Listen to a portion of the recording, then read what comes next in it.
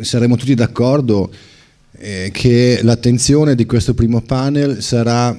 ehm, focalizzata su, una, su, un modello di maschilità che è stato definito come maschilità subordinata, per cui parleremo di uomini gay, soprattutto di uomini gay, ma parleremo anche di come la maschilità gay incontri la maschilità egemone, la sfidi, ma inevitabilmente diventi corresponsabile della riproduzione di alcuni meccanismi di egemonia e di dominio. E proveremo a, a trattare questi temi molto complicati attraverso il concetto di eh, cittadinanza intima e sessuale, che è un concetto, ripeto, molto utile, ma al tempo stesso molto scivoloso. È un concetto che ha permesso di svelare una delle più grandi eh, mistificazioni,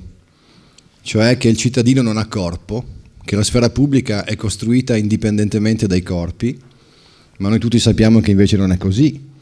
che il legame tra ciò che è pubblico e ciò che è privato è un legame molto stretto e, e, e questo legame è stato discusso, criticato, pro problematizzato attraverso l'uso del concetto di intimate e sexual citizenship,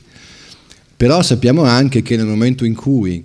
la cittadinanza diventa uno strumento per la mobilitazione politica, c'è sempre il rischio di riprodurre le egemonie che vengono criticate. Per cui cercheremo di discutere questi temi molto, insisto, molto complicati con tre interventi. Il primo è Ottavio Salazar,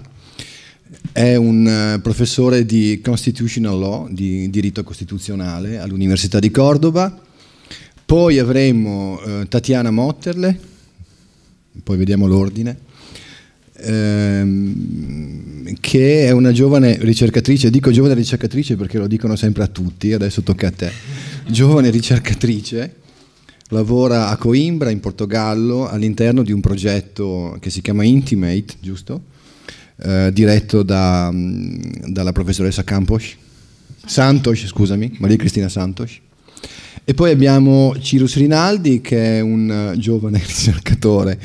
di, di, di Palermo, eh, un caro amico, caro collega di Palermo e tutti e tre cercheremo di discutere anche criticamente questi legami tra ciò che è subordinato e ciò che è egemone per cercare di capire cosa accade in Spagna, cosa accade in Italia e cosa accade nelle varie Italie nelle diverse Italie. Eh, ehm, io credo che ci organizzeremo così, relazione, poi due minuti per raccogliere domande